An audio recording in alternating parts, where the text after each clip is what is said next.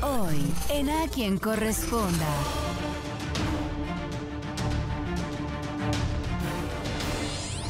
Entre mal olor y en condiciones insalubres. Así es el día a día de vecinos de la alcaldía Gustavo Amadero. Su vida cambió en un abrir y cerrar de ojos.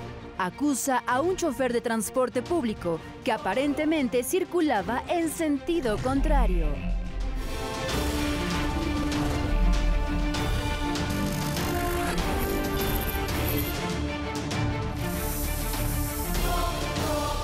Quien corresponda, 30 años.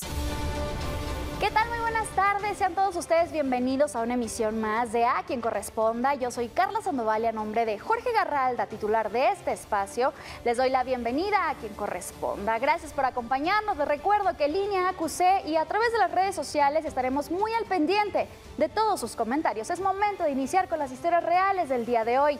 Quiero platicarles que vecinos de la alcaldía Gustavo Madero reportaron un sistema de drenaje obsoleto que los tiene viviendo en condiciones insalubres. Vamos a conocer la historia completa. Un reporte frecuente en las oficinas de a quien corresponda son los problemas de alcantarillado y drenaje. Es la combinación de todo lo que sale del baño, lo que se lava de trastes, todo lo que está acumulado ya en, en la tubería aquí dentro de la casa. Huele horrible. Desde 2016, el sistema de aguas de la Ciudad de México había reportado la necesidad de sustituir al menos el 30% de la red hidráulica, debido a que es obsoleta, en algunos casos desde el porfiriato.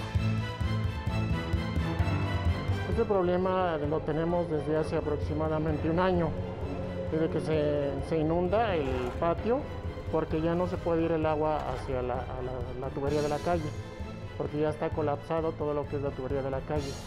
Esto es calle Camino de la Unión en la alcaldía Gustavo Amadero, donde los vecinos reportan que el sistema de drenaje, todavía a base de tubos de concreto, está fracturado, por lo que las aguas residuales llevan un año estancadas. Empieza a salir todo el agua. Más que nada que fuera agua, no es agua, es el excremento que se está saliendo. Y todo esto nos va a dañar, nos va a traer una infección muy fuerte. Tuve que sellar la coladera porque el agua y el olor empezaba a salir. Diariamente, Germán saca 10 cubetas de agua residuales estancadas del patio de su casa y la situación es peor cuando llueve. Sí, el problema es en la espalda, donde más se resiente el, el dolor todos los días y en las piernas de estarse agachando tanto. Otro problema es el riesgo de propagación del virus del dengue a través de los mosquitos por el agua estancada. Ya hicimos varias peticiones, no nos escuchan pues sí pido de favor y de la manera más atenta a las autoridades correspondientes que nos manden apoyo. Bueno, si hay algo positivo que podemos decir de esta terrible situación es que afortunadamente el clima está ayudando y bueno, pues las lluvias han cesado. Pero esto no quiere decir que los vecinos sigan batallando con el agua estancada. Y como bien dicen, también se acerca este problema del mosco del dengue, están en una situación de alerta. Imagínense vivir como estos vecinos. En esta ocasión mi compañera Jessie Santiago tuvo la oportunidad de, visa, de visitar al menos seis o siete hogares que están en la misma situación. Incluso los vecinos te decían que, bueno, pues les daba miedo hasta lavar sus pertenencias con este tipo de agua que está saliendo en sus hogares. Y es por eso que están solicitando el apoyo de Rafael Bernardo Carmona Paredes, él es coordinador general del Sistema de Aguas de la Ciudad de México. Y por supuesto también enviaremos el reporte inmediatamente a la alcaldía de Gustavo Madero liderada por Francisco Chihuil Figueroa, a ver qué respuesta pueden brindarle a los ciudadanos. Y bueno, pues también resaltar por ahí este problema que como bien dicen viene desde el porfiriato. Yo creo que es muy difícil que una administración, un gobierno quiera aventarse este problema, el cambiar toda la tubería, todo el sistema hidráulico desde hace tanto tiempo, decían por ahí, desde el porfiriato, pero yo creo que es más que necesario que se sienten a hablar las autoridades para ver de qué manera van a solucionar este problema que tiene años, años acá en la Ciudad de México. Vámonos con más información. Quiero platicarles de José Luis. Él está denunciando que lleva más de siete meses exiliado de su patrimonio y dice que todo comenzó por una riña familiar en la que fue víctima de agresiones por supuestos policías. Veamos la historia completa. Sí, es lo que yo quisiera saber, cuánto, vendieron su trabajo los policías porque en verdad están en un problema porque les pagaron, no creo que les hayan pagado 100 mil pesos a cada policía para que me pusieran la puta que me dieron. y nadie puede protestar porque lo llevan a encerrar. Luis es mecánico en la calle Filósofos en Iztapalapa. El pasado 27 de marzo, su vida dio un giro radical. Acababa de trabajar, ya me pasé enfrente de mi casa con unos amigos, estábamos echando la chela y ya de repente llegó el, es el esposo de mi sobrina, me empezó a agredir, me decía que nos fuéramos a la mitad de la calle a darnos en la mano. Llegaron mi hermana y su esposo, en eso ya mejor me metí a mi casa, me subí y me encerré. Señala que en ese lapso de tiempo, su hermana compró a los uniformados y asegura que el motivo de la disputa fue que ella quería apropiarse de su departamento ubicado en el predio que comparten. Ahí le están hablando ya las patrullas.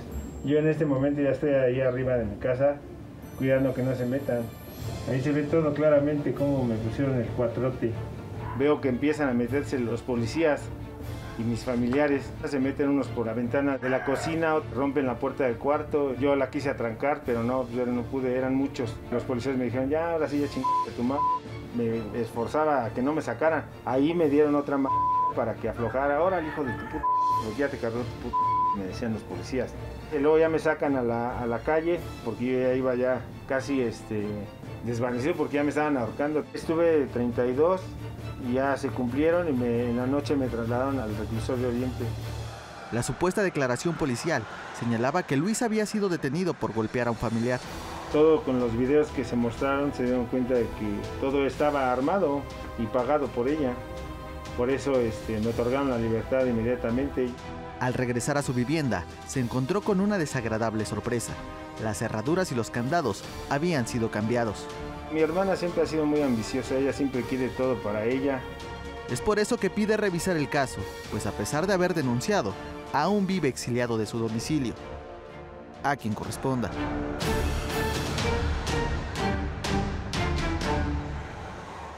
¿Será posible? ¿Será posible que como ciudadanos tengamos el derecho o el poder de poder contratar, poder contratar a las autoridades para que hagan a nuestras anchas lo que deseamos? Hoy nos platica José Luis que, bueno, pues afortunadamente está fuera, o sea, fuera de las rejas, pero está también fuera de su patrimonio. Y está aquí con esta duda hacia las autoridades correspondientes, como es la Fiscalía General de Justicia de la Ciudad de México, liderada por Ernestina Godoy Ramos. Y le pregunta, si tengo aquí el video donde, bueno, pues se puede mostrar, como dice nuestro entrevistado, que fue agredido por parte de su familiar y fue ese mismo familiar presuntamente quien hizo el cambio de las cerraduras, ¿quién lo protege a él? Él sintió este alivio al momento de ver a la patrulla, pero de pronto su versión pues dice que al contrario, se sintió más eh, desolado que nunca. El llamado aquí también va hacia la Secretaría de Seguridad Ciudadana de la Ciudad de México para ver qué respuesta pueden brindarnos y tener de verdad esta pregunta. ¿Será posible que como ciudadanos podamos contratar a la policía para hacernos favores? Vámonos con más información. Quiero platicarles de Enriqueta. Ella señala que la imprudencia de un chofer de transporte público hizo que su vida cambiara y ahora no puede hacer lo que más le apasiona, que es correr. Vamos a ver la historia. Lo mejor de mi vida, lo que me ha pasado es correr. Me siento libre, me siento sana. Doña Enriqueta ha corrido por toda la República Mexicana, ya que durante 20 años este deporte ha sido su pasión. Yo me dediqué a esas carreras por lo de mi hijo que falleció. Sentía que mi hijo me impulsaba. Iba a Mazatlán, a Veracruz, todas las carreras. Tenía en mente de irme a, a Canadá, irme a correr la carrera de, de Canadá, de Toronto. Estaba echándole muchas ganas para ir a eso. Pero quizá fue el destino o simplemente la mala suerte de abordar un autobús equivocado, quien la dejó a un paso de la meta. A mí me frenó un accidente que tuve el 6 de octubre del 2020. Iba yo a, rumbo a Bomisa Hidalgo. Iba yo en el, autobús Valle del Mezquital.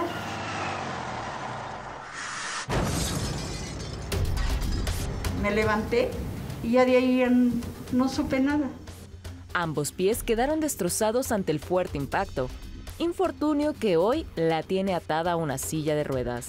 Le doy gracias a Dios que todavía estoy aquí, pero pues estoy mal. ¿Por qué? Porque yo toda la vida corría y ahora pues estoy postrada en una silla pues, postrada. La verdad yo me siento como un estorbo y una carga para mi familia. Y por si fuera poco, aseguran que el personal de la línea de autobuses El Mezquital solo se ha burlado de la familia. Vino a mi casa y me dijo que les firmara el perdón a cambio de una silla de ruedas. Y con eso ya se acababa todo. Ahora estas medallas son el testigo del ayer, donde doña Enriqueta se recuerda como un ser libre. Mis medallas es el tesoro más grande.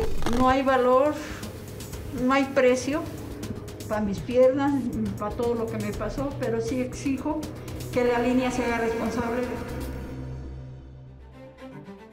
Tristemente hoy doña Enriqueta pues no sabe cómo actuar legalmente en contra de las personas que resultan responsables de este terrible accidente donde como bien ella dice se siente un estorbo, obviamente le quitaron la libertad, su independencia, estas ganas de poder salir y correr por su vida. Las autoridades, eh, bueno, pues no le han brindado una respuesta, simplemente no se han pronunciado y ella lo que quiere es que se haga justicia. Obviamente no quiso eh, firmar este perdón donde decían que ella estaba distrayendo al chofer y por eso es que chocó. Ella asegura, y lo dijo en la entrevista, que bueno, pues él quizás se quedó dormido, no sabe por qué, nadie sabe por qué ocurrió este terrible accidente, pero lo que sí es que su vida no va a volver a ser la misma. Y lo más preocupante de todo es que nos dice la señora Enriqueta que en internet hay muchos comentarios acerca del chofer que manejaba este camión, ya que él sigue operando como si nada y la gente se queja muchísimo de su servicio. También atención ahí Alejandro Aviv Nicolás, Procurador General de Justicia en Hidalgo, y por supuesto a quien a quien corresponda recordarles que siempre podemos ofrecerle esta asesoría jurídica y legal de manera gratuita si usted se comunica todos los lunes y jueves en a quien corresponda o a través de nuestro correo electrónico acuse.tvazteca.com MX. ¿Quieres saber qué piensa, qué hace y qué opina? Acércate a Jorge Garralda en Facebook, Instagram, Twitter y YouTube. Sigue sus pasos de cerca. Descubre al hombre detrás de la responsabilidad social de TV Azteca. Y un consejo, ¿sabe qué? No se deje. Ahí nos vemos. Gracias.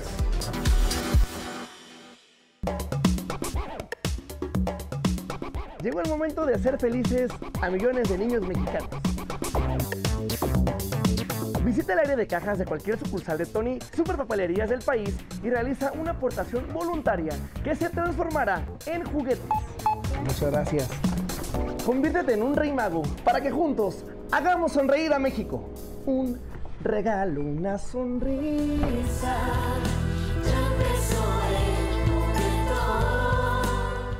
Estamos de regreso, muchas gracias por acompañarnos, gracias también a toda la gente que nos escribe a través del WhatsApp de quien corresponda. Por supuesto que si usted quiere tener contacto directo con Jorge Garralda puede hacerlo a través de sus redes sociales personales en Instagram, Twitter y Facebook lo van a poder encontrar y claro que él está por ahí contestando todos, todos sus mensajitos. Ahora es momento de que vayamos con la historia de Berta.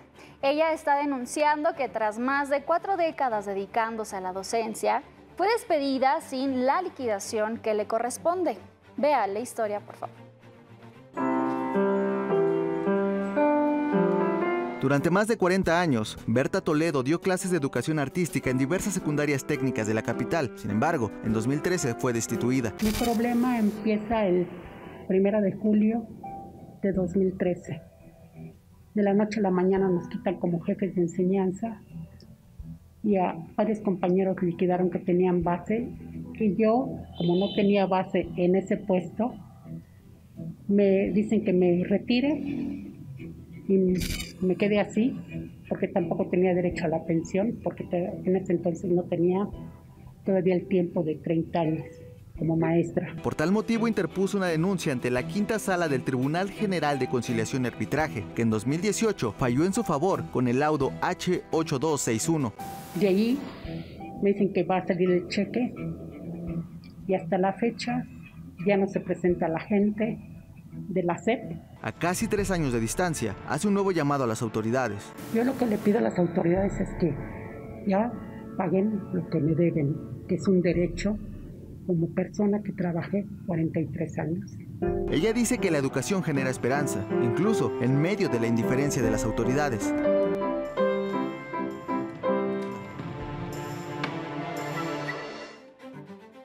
Bueno, pues afortunadamente Berta ganó este juicio, pero como bien dice, la SEP no ha querido pagarle lo que le corresponde y es por eso que está lanzando esta pregunta a las autoridades, como lo es Luis Humberto Fernández Fuentes, titular de la Autoridad Educativa Federal en la Ciudad de México, al igual que Delfina Gómez Álvarez, secretaria de Educación Pública. La pregunta va aquí, si ya pasaron tres años, ¿por qué no me han entregado mi liquidación? Es lo que dice Berta ante nuestras cámaras y micrófonos, donde también, bueno, pues déjeme comentarle que en Caseta de Atención está eh, el equipo de quien corresponda recibiéndolo a todos ustedes que se quieran dar una vuelta por acá, las casetas de atención de a quien corresponda, las afueras de eh, TV Azteca en el Ajusco en Periférico Sur y en este momento me voy a enlazar con Mauricio Martínez, quien está por allá Mauricio, estás al aire, muy buenas tardes. Muy buenas tardes, señor, a todo el público en las casetas de atención y está con nosotros un grupo de personas que vienen de Oaxaca y el señor Leonardo lo representa. ¿Cómo está, señor Leonardo? ¿Cómo está usted? Muy buenas tardes. Muy buenas tardes, señor. Este, venimos un grupo de campesinos de elegido de San Juan Guichicobi, municipio del mismo nombre de Oaxaca, de la zona norte del Istmo. Oiga, platíquenos, ¿qué asunto? ¿Por qué vienen a la Ciudad de México? Mire, es que han pasado muchas arbitrariedades con el reconocimiento de los posesionarios para que sean ejidatarios. Hemos ido a Oaxaca, al RAN, hemos estado platicando ya muchas veces, nos han dado vueltas y vueltas y no nos resuelven. ¿Qué es lo que ustedes necesitan que les resuelva la autoridad?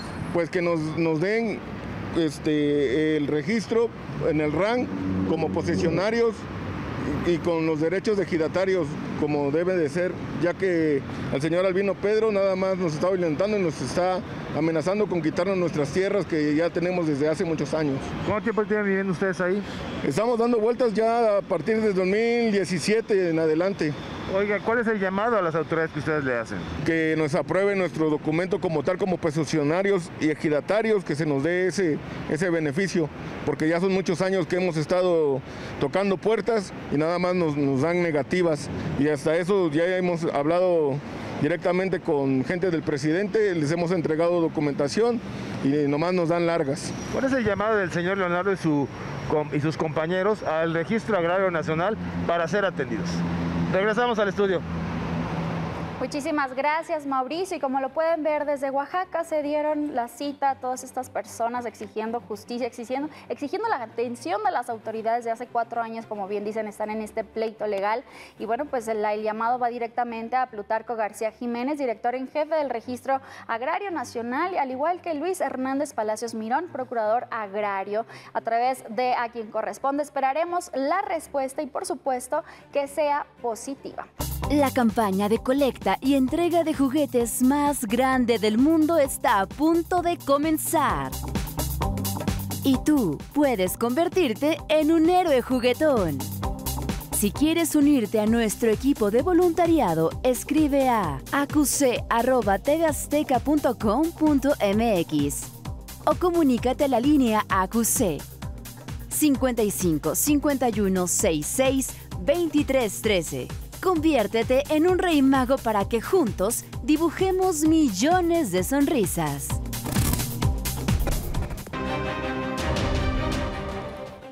Ya hace hambre, no sé ustedes. Provecho a la gente que nos esté sintonizando desde el comedor, desde casa. ¿Qué están comiendo el día de hoy? Aquí en A quien corresponda, ya estamos esperando a ver qué nos tiene preparado Manu Reyes el día de hoy, porque hoy es viernes y los viernes son de dragones, señores, y de muchos gorrones. ¿Qué sorpresa nos tendrá desde la alcaldía Venustiano Carranza? Mi querido Manu, ¿estás al aire? Pues aquí estamos, a ver, ahora sí está bien ahí, ¿eh? Ahí está bien la porción, este Basilio, mira. Sí. Ahí estamos, ¿no? ahí está, bien picadito, porque así le gusta a la gente. A mí por lo menos así me gusta. Muy buenas tardes, pues ya estamos en viernes, viernes de dragones. Y ahora, ¿qué le cuento? Que le estoy preparando un delicioso taco de maciza con cuerito de carnitas. ¿Qué tal me quedó, Basilio? Un 8. Un 8, pues ya vamos avanzando. ¿Qué les parece? Pues amigos, estamos en viernes. Viernes de Dragones y es un gusto enorme. Se los saludamos desde la zona centro de la Ciudad de México. Estamos en la colonia Moctezuma, segunda sección, con nuestros amigos de Carnitas Tehuacán. Pero acompáñenme de este lado. Ya vemos de este lado que están disfrutando de los platillos Esas enchiladas ya me hicieron ojitos. ¿Cómo está? Muy bien, gracias. Oiga, ¿qué tal están las enchiladas? Muy ricas. ¿Vienen seguido por acá? ¿Y qué le parece el lugar? Muy bien. Excelente. Sí, Muy excelente. bien, pues felicidades y buen provecho. Muchas gracias. Y vamos de este lado con el gerente y fundador de esta negociación, que es mi querido Marco. Marco, ¿cómo estás? Hola Manuel, ¿cómo estás? Qué bueno que están aquí otra vez con, nos- con nosotros. Oye, pues vemos ya que nos preparaste por acá una belleza. A ver, vamos, presúmeme qué tenemos de este lado. Una verdadera exhibición y exposición de cómo se deben de comer las carnitas en México, ¿verdad? Así es, Manuel. Mira, bueno, es un restaurante de comida mexicana desde hace más de 30 años y bueno, pues aquí estamos para servirles. Oye, además hay gente que ha probado carnitas en diferentes lugares, pero algo importante, las carnitas de aquí son únicas. Mira, Manuel, este, hay muchas variedades de carnitas, el estilo Michoacán, el estilo Jalisco, pero nosotros hacemos unas carnitas únicas con nuestra receta secreta. Oye, pues ahí está la invitación. Platícame. Acá tenemos el tradicional chamorro, la parrillada de carnitas de este lado. ¿Estos qué son? Estos son unos tlalecitos, se le conoce con ese nombre, que no es otra cosa que es- la grasita del cerdo. Y son exquisitos que la gente lo hace en taquito o para hacer las famosas gorditas de chicharrón. Ahí están las quesadillas de sesos, el chicharrón artesanal que me dices que también es característico Este de es un chicharrón que se hace muy artesanalmente, su proceso de elaboración es casi 72 horas y bueno, al final de cuentas queda exquisito. Bueno, y si a usted le gusta la, comida tradicional, lo delicioso de la gastronomía, aquí lo puede encontrar, pero con carnitas. ¿Qué tenemos por acá, mi queridísimo? Mira Manuel, aquí tenemos desayunos, molletitos de carnitas, enchiladas con carnitas. O sea, tenemos gran variedad, nuestros platillos son comida mexicana, pero como especialidad tenemos nuestras carnitas que son deliciosas. Pues ahí está la invitación. Dime tu ubicación. Estamos ubicados en la colonia Moctezuma, segunda. Manuel, en la estamos, calle. estamos en la calle Oriente 170, número 147, Colonia Moctezuma, Alcaldía Venustiano Carranza. Pues ahí está la invitación y mientras nos vamos, déjeme disfrutar. A ver, Marquito, deténme el micrófono para poder disfrutar. A ver, vamos a echarle aquí guacamolito al taquito de carnitas que está aquí. Nosotros vamos a seguir aquí sacrificándonos como debe de ser. Buen provecho y hasta pronto. Ah, no, bueno, ¿eh? Qué gran sacrificio, Manuel. Oye, qué maleducado. Ni siquiera preguntaste si aquí los chicos del staff querían un taquito. Chicos, son carnitas. Oigan, para cerrar la semana con todo, no te preocupes. Ahorita te voy a echar una llamadita para que traigas todos esos, taquitos de las carnitas Tehuacán en la Venustiano Carranza. Qué delicia. Si usted va a visitar la Ciudad de México, si nos ve del interior de la República, ya sabe a dónde ir a comer rico estas carnitas en un viernes tradicional de Y ahora le tengo una pregunta a todos ustedes. ¿Sabían que practicar meditación por lo menos 5 minutos al día podría mejorar su calidad de vida? Ponga atención a estos grandes consejos. Hoy te voy a recomendar algo que te va a servir muchísimo para gestionar esa ansiedad y desde luego que las mujeres se nos desarrolla muchísimo porque pensamos siempre en los hijos, en el marido, en nuestro trabajo, en nuestros sueños. Medita, haz el hábito de meditar. A veces decimos, no, es que eso es mucho, es muy difícil, yo no tengo tiempo. Tus cinco minutos antes de dormirte, en vez de estar pensando qué vas a hacer mañana, si tienes que pintar el techo, si no planchaste, deja todo a un lado. Ya estás en la cama y aprovecha ese momento para ti y para meditar. Pon una intención en esa meditación y vas a ver que te vas a quedar dormida tranquila y vas a despertar cargada de energía porque vas a tener esa intención en tu mente para ponerla en práctica al día siguiente. Inténtalo, mucho éxito. Muchísimas gracias Adriana Macías por este gran consejo y bueno, pues qué mejor que cerrar la semana que haciendo un gran viaje al pasado, al México de ayer.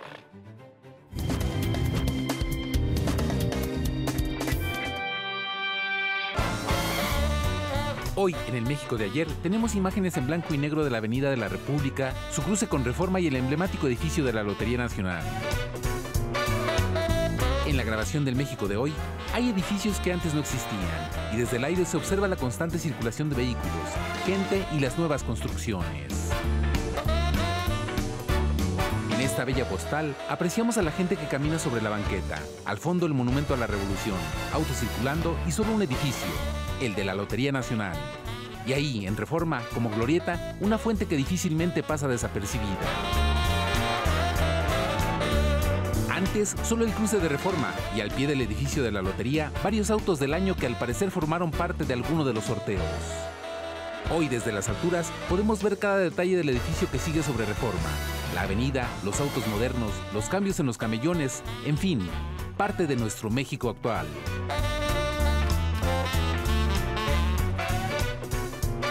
Este es el México de ayer, el de hoy, el de siempre. Vamos a despedir, pero no se vaya porque lo dejamos con Carlos Mota en Es Negocio. A nombre de Jorge Garralda, que pase un excelente fin de semana. Lo esperamos en la próxima.